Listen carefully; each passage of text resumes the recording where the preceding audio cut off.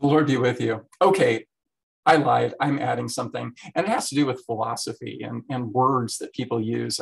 Because, uh, you know, as I taught the Lord's Supper and, and thought about the Lord's Supper an awful lot over my 22 years of being a pastor, 23 years of being a pastor, uh, you know, there are certain words that I find utterly and completely confusing. So the Catholics have this doctrine called transubstantiation, which is a philosophical explanation of how the bread could be Jesus's body and the wine his blood. And rather than just believe it, they had to figure it out because they were philosophers, you know, and Aristotle and I just don't do philosophy. And then some people say, well, Lutherans don't believe in transubstantiation, which is that the bread becomes his body and the wine becomes his blood. No, it just is. Jesus says, This is my body. He doesn't say it becomes my body. He says, It is my body. This is my blood. And so we just go, Yeah, the bread is his body. The wine is his blood.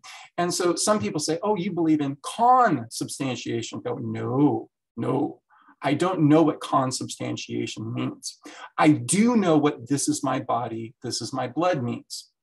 It doesn't mean that his, the bread is with his body or the body is with his the bread. That makes no sense to me. You may have grown up with the words in, with, and under, that Jesus's body and blood are in, with, and under the bread and the wine. I don't know what that means. I do know that in, with, and under are philosophical terms, and they are mighty confusing because it's philosophy, and philosophy is utterly confusing. It's baffling. What does it mean that Jesus's body is in the bread? What does it mean that Jesus' body is with the bread? What does it mean that Jesus' body is under the bread? That makes no sense.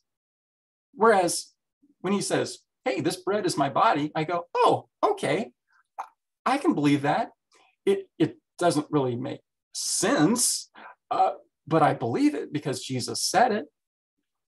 And then the other term that, that's used that I find utterly confusing is the term real presence. You know, it's like, do you believe that Jesus is, is really present in the Lord's Supper? And I just go, what, does that mean? Uh, what does that mean that he's really present? Jesus is, you know, if you believe that Jesus is God and that God is everywhere, then Jesus is everywhere.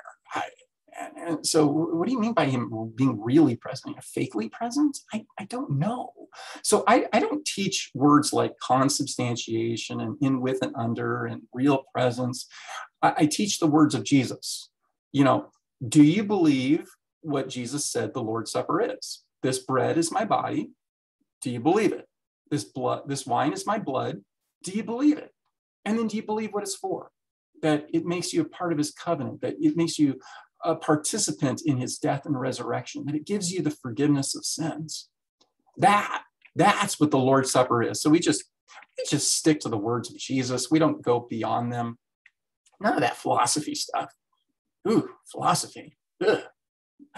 Jesus' words, this is my body, this is my blood for you, for forgiveness.